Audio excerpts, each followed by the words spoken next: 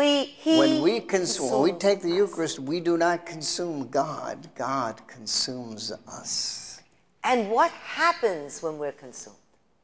We're changed. We're changed. Now, to the degree that we accept this grace, and what is grace? Grace is a divine gift. To the degree we accept this grace, we are changed. And when we are changed, we will change the world. That's all it takes. Now, why did our Lord Jesus give us this gift? The flesh and the blood, incorrupt, 1300 years later, still there till this day. You go to Lanciano and you can see it. Why has he brought it give here to you? Because when we look at the tabernacle, we realize and believe that our Lord Jesus is truly present in the tabernacle. When we look, when we, when we go to Mass and the consecration begins and our priest raises the host in consecration, we believe that Jesus truly comes to us, body and blood, soul and divinity, in the consecration of the Mass, that those two things, bread and wine, are no longer bread and wine. Did you hear that? They are now no the body. longer. It's not the, the holy bread or the consecrated wine. It is the body and blood of our Lord Jesus Christ. Transubstantiation takes place. These are all things we learned as kids. They're true. They're still on the books of the church. So that when we go into church, and the tabernacle is there. No matter where they've put our tabernacle, God is in that tabernacle. Jesus is truly there in that tabernacle, and He wants to have you visit Him there. If you truly believe that He's in that tabernacle, then you must know that He's lonely because nobody ever comes to visit Him. Alexandrina was a little girl that, uh, to avoid being raped with her cousins, and this was in Portugal, she jumped out the window. She broke her back, and she, somehow she crawled up, and they got so scared they left. But she became a full paraplegic the rest of her life. From the neck down. And when we, when we visited Balazar, which is near Oporto, we In went Portugal. In, in Portugal, and we went into where her bedroom, her bedroom was, and let me tell you, the flies were just swarming all over us. And this one particular day, she was in this bed, and she couldn't move, and they were just all over her. And she cried out to God, don't we? We always let Jesus have it because he's got a bad memory. He doesn't remember anything bad about us, you know? And uh, she said, How could you do this? How could you allow me to be a prisoner of this body? And Jesus said to her, Keep me company in the tabernacle where I am a willing prisoner. Most do not even believe that I am there, and those who do do not have five minutes to come and visit me. What is this miracle about? There are those, there are people in the church today, and some of them high up, who will tell you that what goes on during the Mass, each part of it, the four parts that are necessary for a liturgy are equally important the assembly, the priest, the word, and the Eucharistic species, it's called, which we call the body and blood of our Lord Jesus and that not any one is more important than the other, so that when you come into the church or during the Mass, don't be genuflecting and kneeling because all you're doing is distracting the other people who are as important, if, this, if we accept this philosophy, as important as what's going on up on the altar. And Jesus in the tabernacle, they're as important as that. But we tell you it's impossible. That's, that's impossible because that's God. God is in the tabernacle. God is on the altar. God comes down to us. The Holy Spirit comes down to us, accompanied by tens of thousands of angels. How can that be the same as us sitting there picking our noses? Excuse me. Wipe that off the tape. Take that off. First of all, the teachings of the church for 2,000 years, right till today, on the books in the Catholic Catechism, is that the Eucharist is above all the most Is important. the most Okay, important that's part one. of that liturgy. Number two, it is the mo- the most important of the sacraments. Number three, the priest stands here in the person of Christ. He puts on the person of Christ when he But he puts on still will admit to you, as I will admit, although he's trying not to be a sinner, unless we make Jesus a liar, he's a sinner. Can he be equal to God if he's a sinner? We are sinners. You just heard Bob.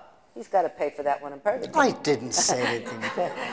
We are sinners. We're trying, we're trying every minute of the day, but we're sinners. There's only one among us that is sinless, and that's the Eucharist. And are you telling me that the Word of God, which emanates from Christ walking the earth, is equal to the Creator? Come on. It's what they're feeding us is illogical. A baby can't buy it. Jesus, the Eucharist is Jesus, and no one is above God. And it's in- no one, it's in nothing our- is above God. It's in our Catholic Catechism. The Eucharist is the source and summit of Christian life. Now that's right up there. Also, in that same section, I wish I'd have brought the Catholic Catechism with me, but I, I didn't. Pope Paul VI wrote a beautiful, beautiful paragraph about kneeling in honor and reverence of our Lord Jesus, of genuflecting with respect before the Blessed Sacrament. I mean, this is only, this is the Pope before last. He's, only, he's one of the greatest popes of our century who wrote Humanae Vitae. I mean, this is a powerful They almost pope. killed him with that one. And, and he's telling us about the drama and the beauty and the, the majesty of kneeling before the Creator in the tabernacle and in the Blessed Sacrament. And we're being told, don't kneel, don't genuflect, you're just distracting the other people. Do you ever see what happens at an audience when His Holiness enters? Everybody rises. I mean, I don't care what they, They are. stand on the chairs. They stand up This is the way they rise. and they hail the Pope, and they're crying. And you hear, Papa, Papa, and you hear the, the Hispanics with that chant. Alaba, how's that go name? Viva, Viva. No, yeah. Alabai. There's Come on, baby, come on. stuff. It's It's, terrific. it's terrific, and they don't stop. They don't stop. They don't stop. They're cheering him, cheering him, cheering him. You're sitting when the Eucharist comes onto the altar? Do you know how to say it? Yeah, that's right. Viva el Papa. And then, so for the Pope, we stand up No, and we get excited. Alabai, alabai, alabai. What is it? There you Okay. go. But we stand for the Pope. We cheer the Pope. We We're would- crying. if and the- we sit with our legs crossed If the when the Lord Queen of England came into this room, Makes sense. we would curtsy or we would bow. The men would bow, the women would curtsy. And they're not really the greatest right now. This is God you're talking about. You won't genuflect, you won't kneel before God. Let me say this. The greatest threat, and I'm quoting His Holiness the Pope, who is our foster father on earth. Do you know that? That's who he is. He's your father. Said the greatest threat to Christianity as a whole is Islam. They're having 10 to 15 children a family. They never leave their faith. Never. These are people that pray five day, five times a day. These are people who, when they inhabited, uh, not inhabited, but uh, took over Portugal, Spain, most of Europe, Greece, Yugoslavia. The name of Jesus could not be uttered for as much as 700 years. When our troops went to Saudi Arabia, they were not allowed to mention publicly the name of Jesus. They were not allowed to have a religious service. They were could not allowed bring a have Bible. None of that stuff. And that we were helping that country, we were not allowed a Bible. Do you understand that unless we hold on to the treasures and the teachings of the church, unless we are strong and pass this on to our families, these people are strong. Fundamentalist cults are strong. They, they don't know the whole truth, but of what they know, they've got these pat answers. You must be educated, and you can't depend on anyone else to educate you now. When I was a little girl, don't you hate that expression? I used to hate that. I said, never say that when I grow up. Well, here I But am. you're still a little girl. When I was a little girl, I looked on my priest as God. And I looked on our brides of Christ They were the last word. This priest, whatever he said, if he would have told me to jump off the bridge, I would have jumped. Today, I can't do that with every priest. Today, I have to study and study. I've been studying the last since 1975, 24 hours a day, and I have not yet finished learning my faith. Please, in the name of God, learn your faith and defend your faith because your life depends upon it. We're told, this is another, all these games that they're playing here now in Southern California, believe it or not, they did last year in Louisiana, Lafayette, Catholic oh, yeah. Diocese of Lafayette. They decided, in, and, and they're doing this in, in a, a, parish very near here in Southern California. They decided that they were, they were going to have an experiment during Lent last year in Lafayette Diocese. There's one priest. They were not going to Most of them are very holy. No kneeling, not going to kneel, because they justified it by saying kneeling is not scriptural. You never see in the scripture where, and he went to, through the Old Testament, he showed a whole bunch of different religious ceremonies they had never mention anybody kneeling. So this was put in a Catholic newspaper, and the, and the priest who wrote the article about it said, But they never had a Mass during the Old Testament. There were no Masses during the Old Testament. The Mass is part of our faith belief. The New Covenant. And in our country, in this country, 80% of the bishops that were, they were uh, polled this year, 1996, 80% preferred kneeling during the consecration of the Mass. The Catholic Catechism states, and the general instructions in the Roman Missalette states that kneeling is to take place from the beginning of the Eucharistic prayer until the great Amen. Did you hear that? And Not you don't stand church. up right in the middle to the great Amen. Now, if a priest says to you, you are not to do this. You, you are obligated to go up to him and say, I, I want to obey you, but I cannot put you before the magisterium of the church. That's the teachings of the church. Father, I will pray for you. Are you telling me I cannot come into this church? You know you're not allowed to do that. We gave a, a retreat weekend another time, and the priest was really neat. Oh, I tell you, real red carpet treatment came back from a Lenten cruise. Okay, I just want you to listen to that for one minute. He was on a Lenten cruise. Now, how do you figure that? Reconcile that with a Lenten cruise. And he was all tanned. This was in Ohio. It was comes a nice back. Guy. It's snowing. It's it's it's everybody's freezing, and this guy comes back with a tan on his face from a Lenten cruise. But anyway, he was really very hospitable and wanted to know if we were comfortable and had they treated us really nice. And uh, today you get points as a priest for hospitality, you know. Anyway, uh, he said, uh, I just got back from my cruise and I have not prepared any homily, so you're going to have to give the homily. And my husband informed him that no layperson is to give, give the homily. It has to be the priest or a deacon. Well, he said, unless you speak, they're not going to get anything. Well, so every Mass, at the end of Mass, we had to say something. And so Bob said, Well, on one condition, he said, I'll tell you what I'll do. Penny and I will, kneel, will stay at the uh, back of the church because, you know, Father, you've taken out the kneelers. And Penny and I, during the consecration, kneel. Our community kneels. And, and we don't want to bring scandal on you, so we'll be in the back of the church. He said, Oh, no, you can, you wouldn't Hey, do whatever you want. You, kneel you wherever can, you want. You can be up front. That's no problem. Okay. Now you got to remember, uh, we had given a retreat weekend for many, most of the church, right? Maybe about it was a maybe about 2,000 family parish. Maybe about seven or eight hundred went to our retreat. So they were the kind that would they would be at some of them would be at each mass. At each mass. So the first mass comes. We're in the back. The consecration, the Eucharistic prayer starts. We begin. We kneel. We kneel, but nobody sees us throughout the church little pockets of people start kneeling. kneeling. And the ones who are standing, they're getting angry. First, they're looking at them kneeling and they're, they're upset. Why, to themselves, why are you doing that? And then they're angry then because they're, they're, doing that. And then they, they one by one went down on their knees. It happened in every and the priest single could mass. not believe it. There were two different priests. Neither one of them could believe that the people would do that. What can we do? I'm reminded of when Jesus stood with Pilate. Please believe me, it's being reenacted again today. The majority did not want Barabbas. They had well placed people in the crowd.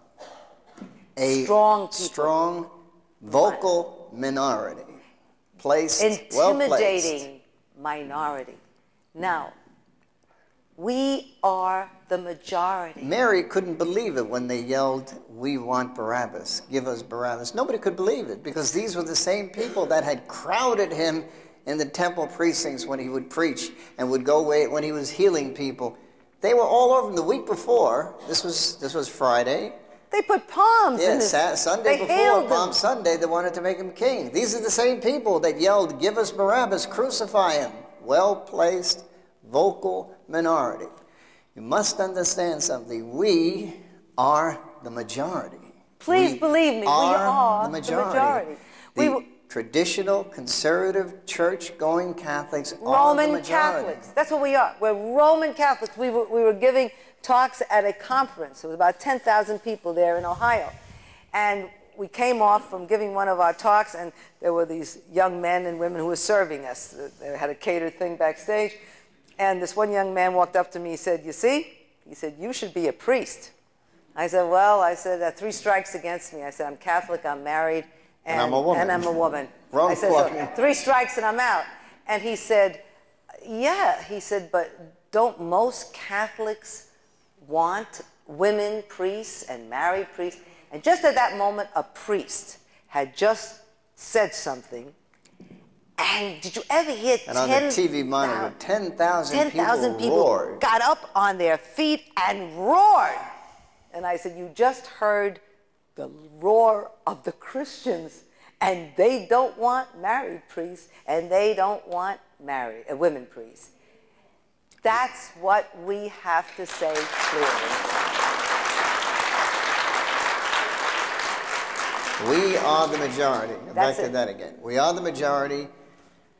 We have, unfortunately, we have given some of the key positions in our church and to people who are not in the majority, who don't think the way we do, who don't follow the magisterium of the church.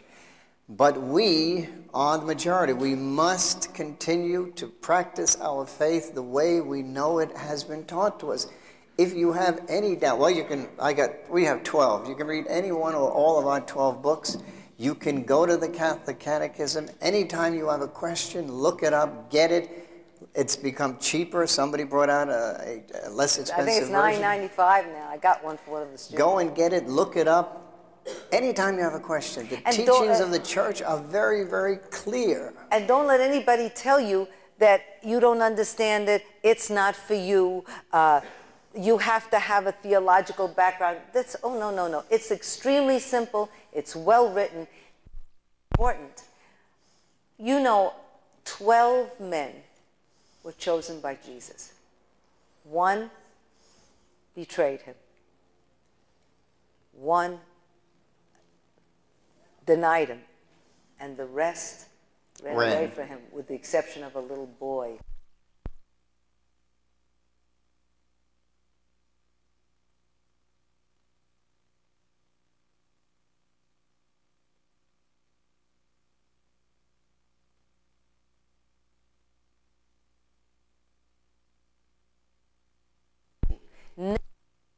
history of the church, I can't say that enough, has there been such a powerful army that is spreading the faith. Maybe that's why we don't have many priests. Maybe God wanted to lift us up and say, hey, come on, help my priests. Let's be that strong evangelizing body because let me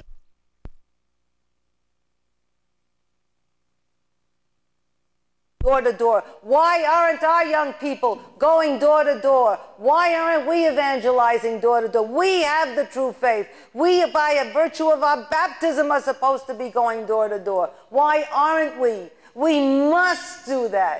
We must. Any of you who have children in college, if you have if they've just gone in, or you have grandchildren who are just starting college, Please, please, even if it's a Catholic college, or most especially if it's a secular college, find out what influences are being pushed on them, Talk the, to them. on their college campus. Ask them. Ask them to find out where their campus ministry is on the college. It's not always easy to find. I had a very difficult time finding the one in La Jolla and San Diego, but I finally called up in Chico, Northern California, is the head of the campus, Campus ministry for the state of California, and I finally got the information from a priest up there who used to be in this area down here, Father Mike Newman. I don't know if anybody knows him. I don't remember him, but he knows us. Find out what's happening to your children on the college campus. They are being attacked by uh, fundamentalist cults. The minute they get into, into these college campuses, they befriend them. And you know that when you go into one of these places and you're all alone and you're looking at fi- 15, 20,000 kids there, a friendly face, you need it. And so these young people come up and befriend them, and they're proselytizing, they're trying to convert them over to their way of life. We saw it happen three weeks ago, four weeks ago. It's happening in our college campuses. Find out about campus ministry in your area, in your, in your secular schools. Find out what's happening with your children in schools. My mother, God rest her soul, she'd come home, she worked on a machine, but she'd come home and she'd say to me, Teach me. So I used to get out this little blackboard and I would teach her everything I'd learned. Today it's more important. In those days, she didn't have to worry about what I was learning. Today, you have to worry about what they're learning. What they're learning in school is n- antichrist in our secular schools. They're teaching them sex education. You, they're also doing it in many Catholic schools, and yet it is the teachings of the Pope, it's the teaching of the magisterium that the primary education of the, of the child is your responsibility. And no one is allowed to teach your child anything unless you are advised and you approve. That's of the Constitution of the United States, and it's also the teachings of the church. Also,